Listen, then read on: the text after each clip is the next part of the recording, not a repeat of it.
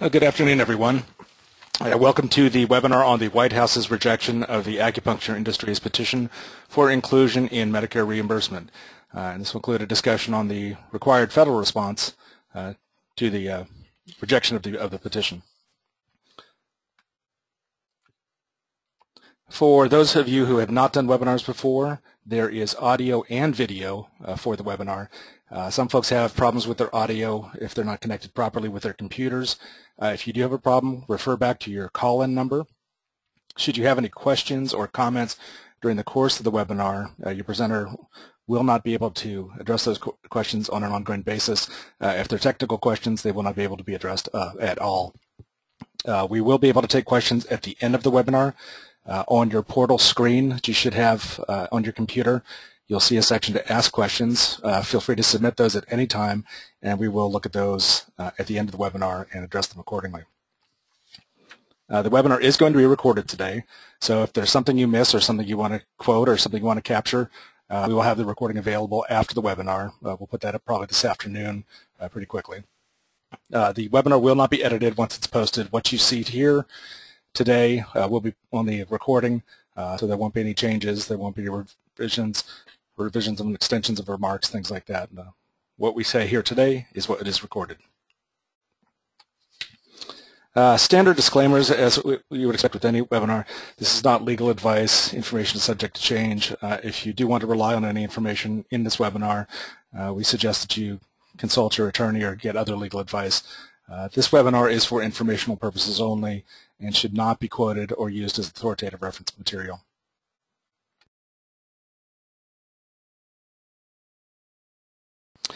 I will be your presenter today. Uh, my name is Mark Guimond.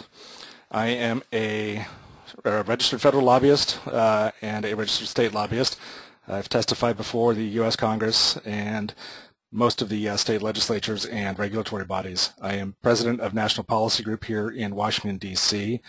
Um, a lot of folks seem to have questions about and who and what, I am, and I'm trying to put some of those uh, rumors or myths uh, to rest today. Um, I am a lobbyist here in D.C. Uh, I also do association multi-management. I've been in lobbying and government affairs uh, since the 80s. I first started working on Capitol Hill uh, for Senator Pete Wilson of California uh, in the late 80s uh, and went into private practice as a lobbyist thereafter. Uh, I'm not related with any group in acupuncture. I am not being paid by any organization or any association or any group.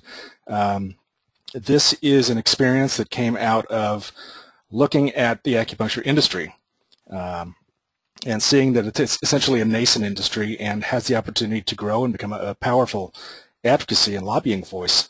Um, and I'm not going to take any positions in this webinar. What I'm trying to do here today is present objectively information that's out there. Uh, this, in fact, did occur. These are the implications of it. This is what can be done to help it or not help it. Uh, I'm not going to take any positions. Uh, hopefully you won't be disappointed by that. Uh, this will just be an, a fair examination of the policy apparatus and mechanisms that are uh, out there today. Um, one of the things that the people have been asking me is, is why are you doing this? Um, I, I, saw the industry at a point where it is essentially at a policy void. There, there are so many things happening on the federal level and on the state level with this industry uh, that it, it, didn't have cohesive national voice. Uh, and there were some things that I thought the industry could do to, to better serve its interests. Um, for those of you that have been following the, the publications that we've been putting out, in December we put out the 2013 legislative summary. Uh, I thought it was significant um, that there was no, no, common reference document for everyone to say what are the what are the other states doing. Uh, one of the things that, that happens so often in state legislation is what's happening in your sister state is important to them. That could cross over into your state or other states. So what is happening someplace else could be happening to you down the road, and that could be favorable. It could also be negative. Um, but I but I wasn't seeing in this industry that there was the opportunity for a state to have a reference to another state to see what was going on. There's legislation introduced all the time. There's law changes all the time. But there was not any cohesive national instrument for that. Uh, so we put together the 2013 legislative summary. Uh, some of you may have also received the acupuncture state law summary, uh, a, a, huge document, massive undertaking. Uh, but this came out of a need what we saw on the student side. Uh, let me just say, as, as a matter of, of disclaimer, uh, that my wife is a an acupuncture student here in Maryland, and she will be graduating within a couple months and entering into private practice. And when I was speaking with her and, and her classmates and others, including some of the instructors, folks wanted to know what if they leave Maryland? What if they go to California or Texas or New York or whatever any other state might be? Uh, and what were the state laws there? And the, the choices that they had were to pull up the state statute, well, first find it, pull it up, and then try to analyze it. Um, so as something to help the students, I put together the state law summary, um, and it guided them better so that they could look from state to state and see what the general requirements are, rather than having to go through and do a formal analysis of a state law. Um, we thought this was extremely helpful, and after we started the project, uh, when I was working with some of the state regulators, uh, the state regulators were asking if they could have a copy of the document when it was done as well. And then I saw a need to extend that further probably to legislators, that if you were having a legislative issue in one state, could this document be used to provide it to legislators and say, okay, we're going to use this as a comparison measure. Uh, and that is how this document has now had its, its genesis and development. And it's now gone out to the industry, and we're still getting in uh, corrections, modifications, additions, so that we can take this in a couple months and introduce a final document to the entire industry that's good for practitioners, for students, for regulators, it could be vendors, legislators, anybody. But here's the comprehensive evaluation of all the state laws so that it's easy to understand and doesn't require going out with an attorney or a legal analysis to try to figure out uh, what's happening in any other place. Excuse me. Um, one of my goals in, in doing all this, uh, know, not everything's altruistic in life. Uh, I am trying to advocate for the industry uh, and what I've done in the past with these documents and, and this webinar and, and future webinars and, and, things of this nature is to simply showcase what could be done with this industry and what can be done for this industry. How do we take a, a loose confederation of practitioners and, and educators and everybody else and bring them together to be a cohesive national voice? This is a large enough industry that it should have a powerful voice in advocacy, but it just hasn't gotten to that point. And one of my goals is to try to help this industry do this. Is this business development? Absolutely. Is this altruistic? Partially. It's good for everybody. There's no downside to this. So I guess my uh, bottom line is if, if you like what I can do for free, just imagine what I could do if I were getting paid.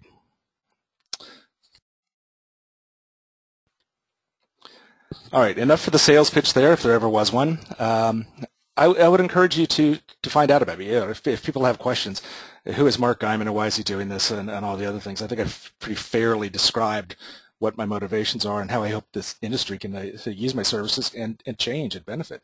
Uh, come join me on LinkedIn. It gives a little bit about my background. I've got videos up there of my testimony for the states, um, some of the work that I've done. Uh, I'm going to test the age of the audience here real quick and see how many of you remember when you could only drive 55 miles per hour in this country. Uh, you'll see on LinkedIn, part of my work uh, was to repeal the 55 mile an hour speed limit years ago and thus allow the states to set their limits and, and increase that above 55 if they chose to. Yes, that clearly ages me, but it's probably the most vivid example of what people would actually remember uh, and understand um, about my legislative work in the past.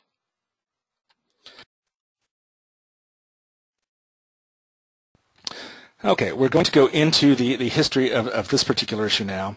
Um, and, and, while I think the value of understanding what's happened with the, uh, the Medicare petition is important, I think there's a side bar that needs to be discussed too, and that is the value of this webinar is not just about the subject matter.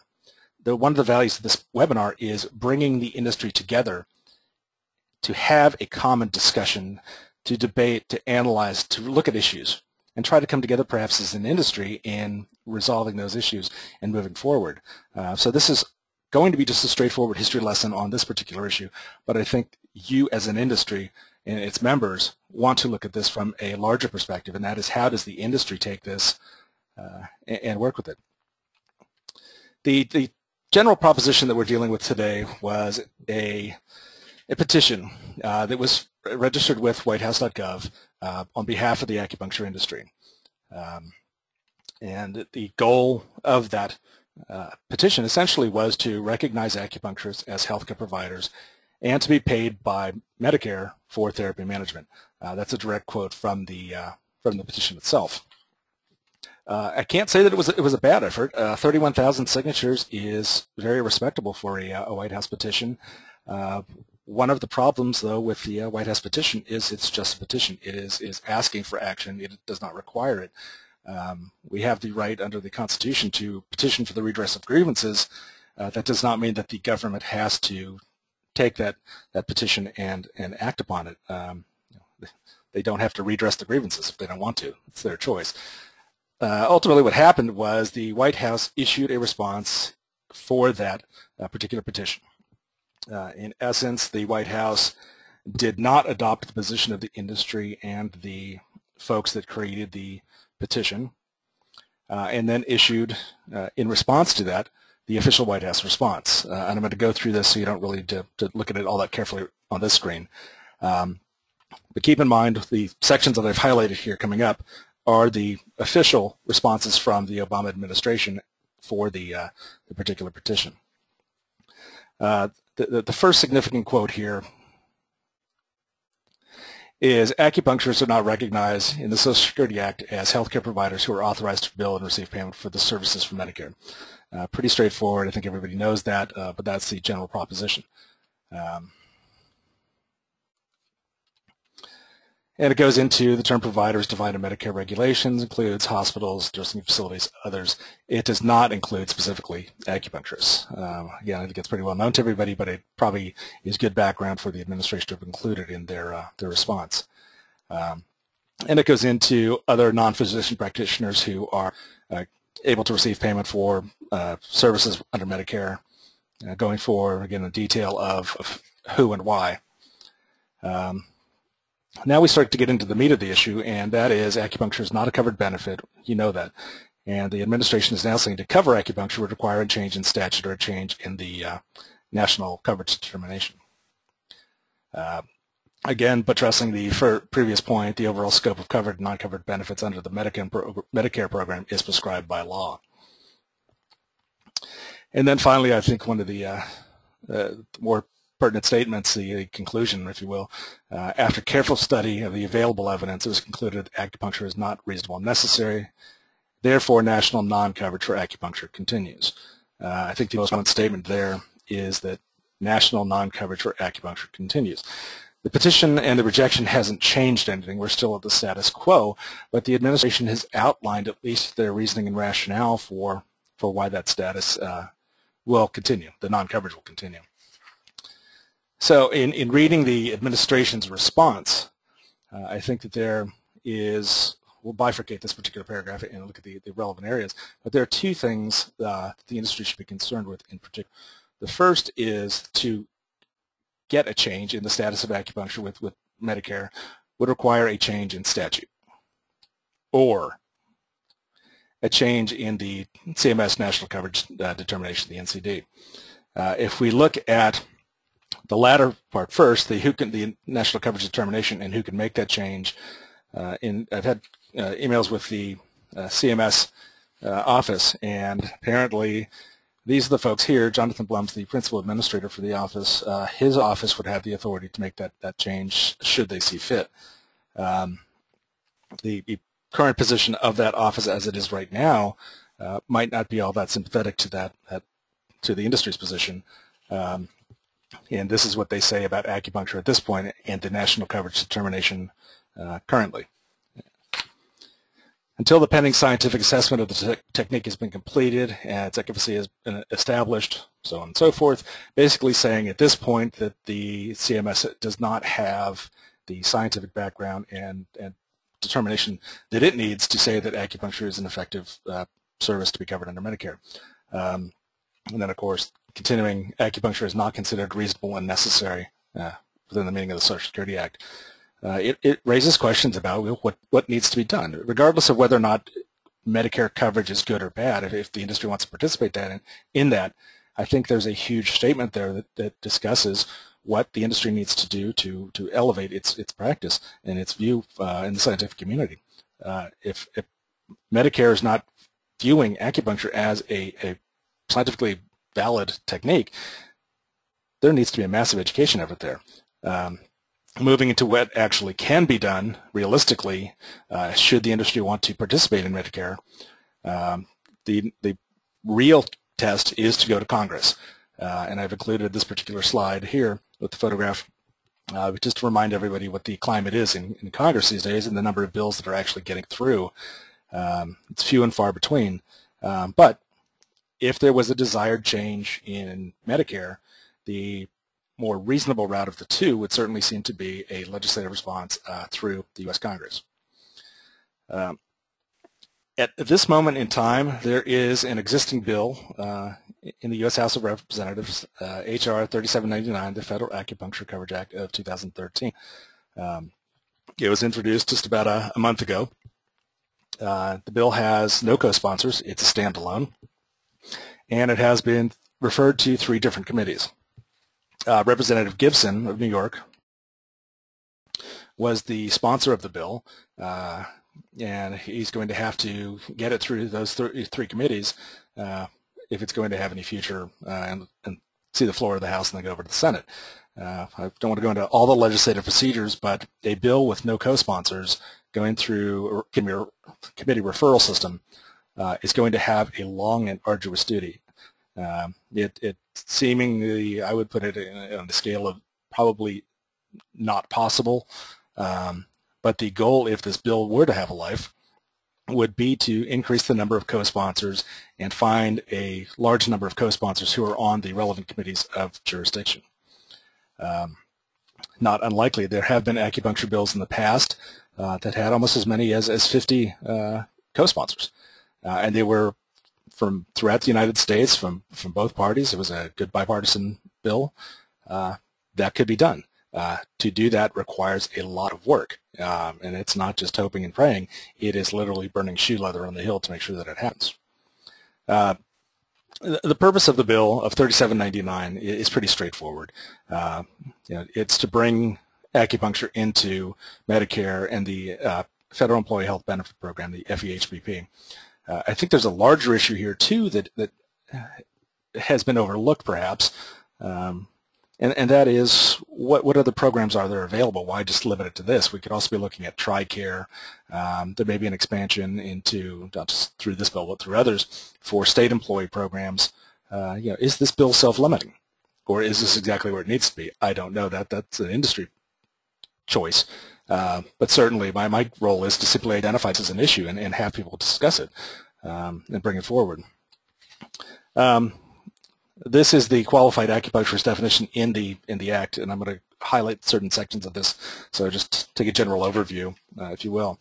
Um, the first thing that the bill talks about is the, those that would be able to re be reimbursed through Medicare or FEHBP would be a qualified acupuncturist or a qualified acupuncturist service, exactly.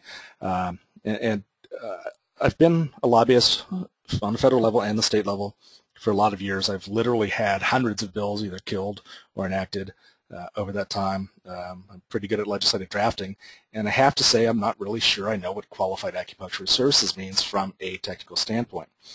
Um, it's, it's in my mind, it's an undefined term. Uh, if we look to the state laws, there are a variety of definitions about what acupuncture means, what's the scope of practice, all of these different things. But you have, let me go back for a second, uh, in the federal bill, an, uh, an, undefined term. I don't, it doesn't say what a qualified acupuncturist is. It just says if you're this, you can, you can uh, be reimbursed.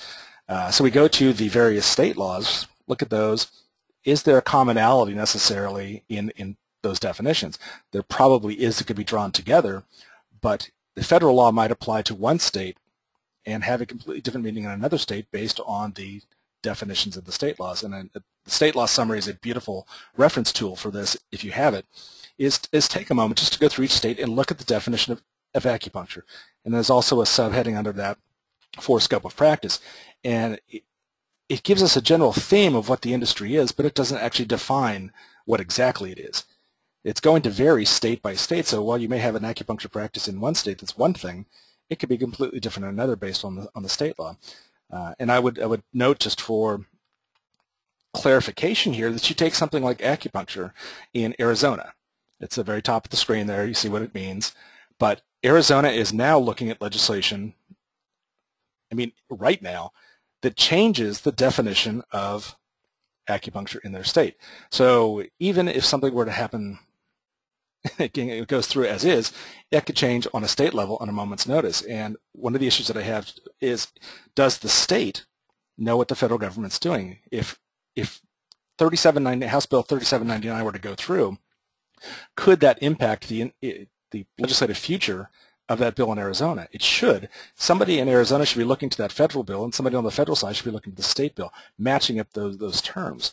Um, it, it, to me, it's it, it's just basic legislative drafting, but it's so so important um, that it really needs to be done on an ongoing basis on a unified level, not just a, a 50 states plus the District of Columbia and the territories all kind of doing their own thing and hoping that everything meshes. There are implications. There's a, there is a policy matrix here uh, th this all applies to.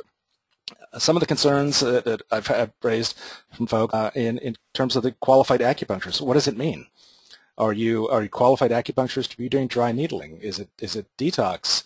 Uh, some of the scope of practice include massage and herbs. What exactly is the qualified acupuncturist? And since 3799 doesn't define it, it could be many, many different things. Uh, and that creates a, a, an amount of ambiguity in law uh, that is not beneficial to, to anybody. Um, so I think if you look at the scope of what needs to be done, there, sh there should probably be a, a better definition uh, in something like 3799 as to what they are actually calling a, a qualified acupuncturist in the acupuncturist services.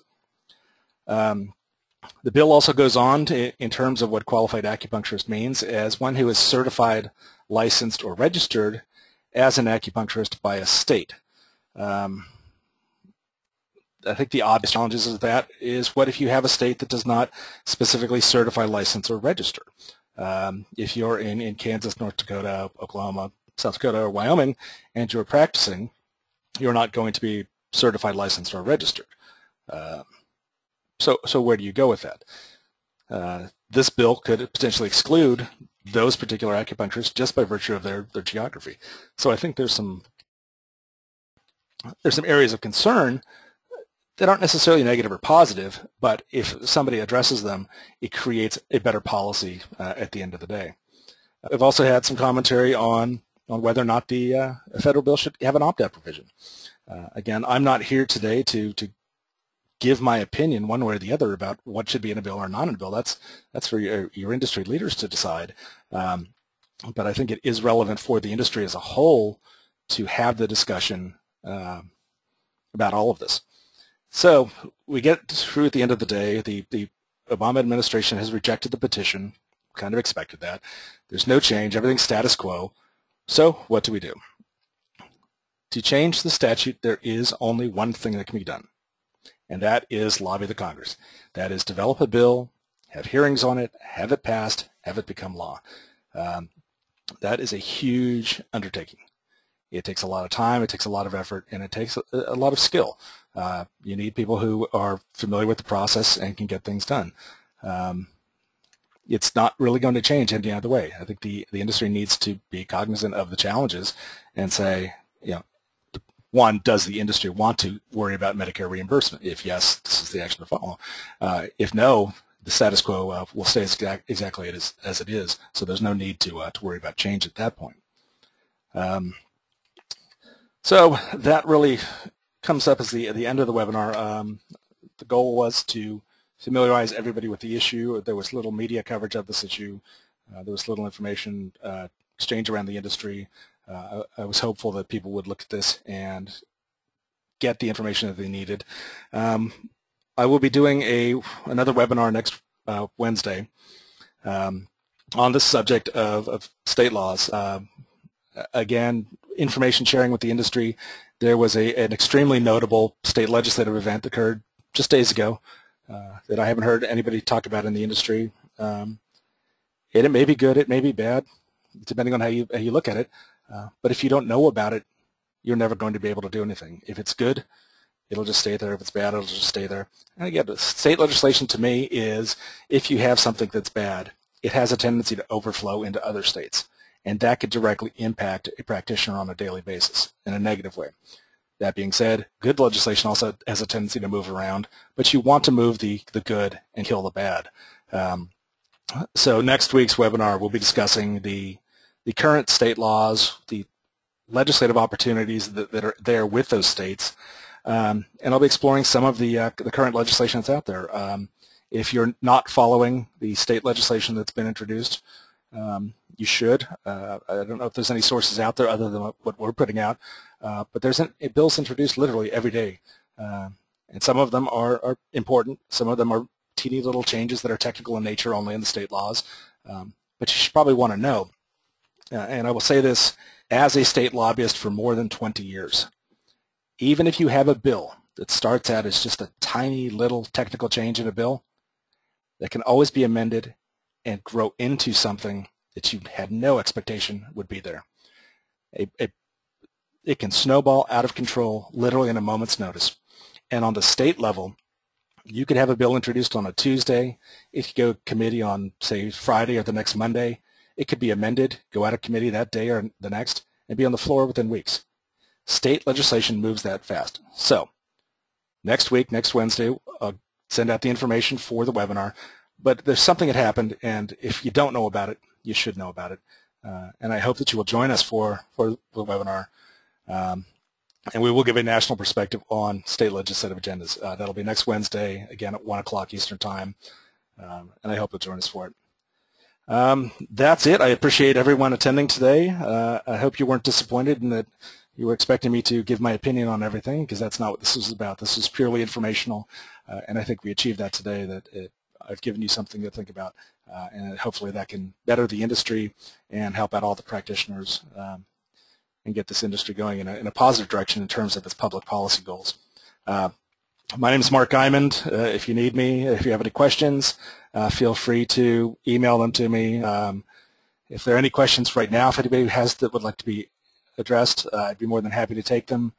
Um, let's see. I, I, do have a couple questions here. Bear with me. Uh, okay, I'm getting some information.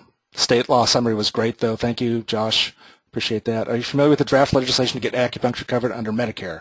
Um, I think that was that was addressed. Yeah, that would be 37.99.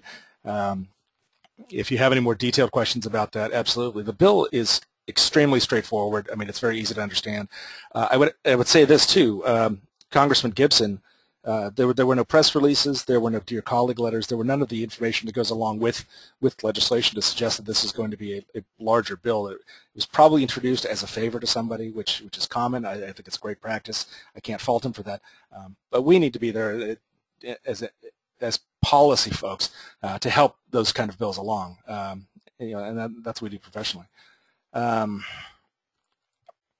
is there a problem that BLS does not have a definition for acupuncture? Um, I, I, I, think so. Uh, I don't know that in terms of, of, BLS that it's, it's absolutely necessary. Um, I, think it would be beneficial to the industry to have their own designation, but for terms of things like comparative to OSHA standards and things like that, I don't think it's any different than, than any other professional capacity.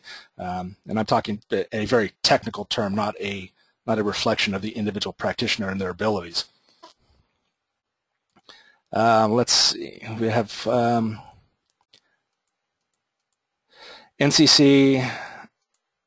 NCC AOM certification is generally accepted as a definition of what a qualified acupuncture, acupuncturist is.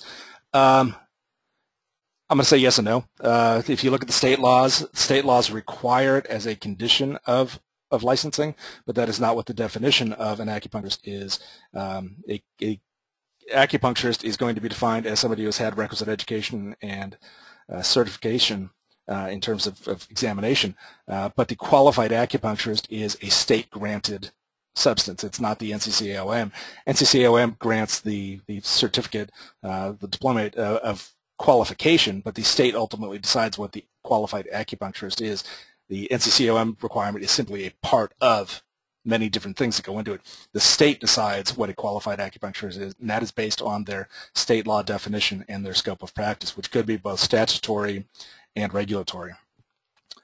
Um, what is meant by an opt-out provision? Um, that was something that somebody had talked about. What if, what if they don't want to participate in, in Medicare? Uh, what are the implications of that? Is there does that does that harm a practitioner later on? Or what if they start in Medicare and they choose not to do Medicare later on? Um, I think the the opt-out provision in that respect was it was really targeted to if I if I am allowed to participate in Medicare and it's not beneficial and I stop participating in Medicare, what is that going to do for for my practice? So I believe that is the the scope of what was looked at in the uh, in the um, in that provision. Um, let's see. I have another question. Could you use NCCOM certification as a national qualification to to qualify qualified practitioners? Um, yes, to a certain extent. Uh, I think the the the language in 3799 as it's drafted right now is adequate to a point. Uh, and that point is the bill says those that are certified, qualified, licensed in those states that have that kind of uh, that kind of process, which most do. If we look at those states that don't have any licensing certification, something like an NCCOM status, uh, the diplomate status, could be used as an alternative to to that. Um, so I think the, the, there is the opportunity to address those those additional states that don't have the licensing certification registration requirements and try to fix something in there. Um, it is not currently in the bill, so I think the, the inherent problem is that would have to be added, uh, and there's probably some kind of good language that the, uh, the industry could develop with that. Um, what, what steps could the industry take to begin the process to have a cohesive lobby presence? Um, my, my, first answer is get a lobbyist. Um, uh, that was terribly self-serving, and I apologize. Uh, I think the reality is the industry needs to come together. Um, some of the things that I've tried to do with the with the publications is keep you apprised of what's happening on the state level, for example, with legislation. Um, and this this came out of my wife's experience as a student was she's going to be in practice coming up. Her friends are going to be in practice. I, have met her professors and others. And what are the challenges that they faced? And creating creating an information flow. One, what's happening on the state level. I, I know I know within a moment. I can push a button on my computer and I have information as to what state laws have been introduced literally within an hour ago. My systems are that good. I do that all the time, not only for, for acupuncture now, but for, for other industries, and I, I, keep them apprised. Legislative tracking is, is one of the key key elements. Um, and having an understanding of what's going on state A and state B and state C, and working together as an industry, not as just the folk in this state or this state, but looking to your sister state and saying, how can I help? You know, if I'm next to a state, can I go over and, and testify? Can I write a letter to a legislator? Can I be a part of the overall discussion, even if it doesn't necessarily involve my particular state? And that is the the creation of a whole perspective for, for the industry, that it's not just the states. This is a national industry that needs a national presence. Um, and that'd be one of the steps. And then, of course, deciding if you have draft language, what to do with that draft language, how you want to introduce it, where do you want to go with it. Um, start small. There are several bills that are pending in the in the states that could be a very good test for this industry to come together and, and be cohesive, be a grassroots force. Um, you know, one of the things you want to be is a powerful voice.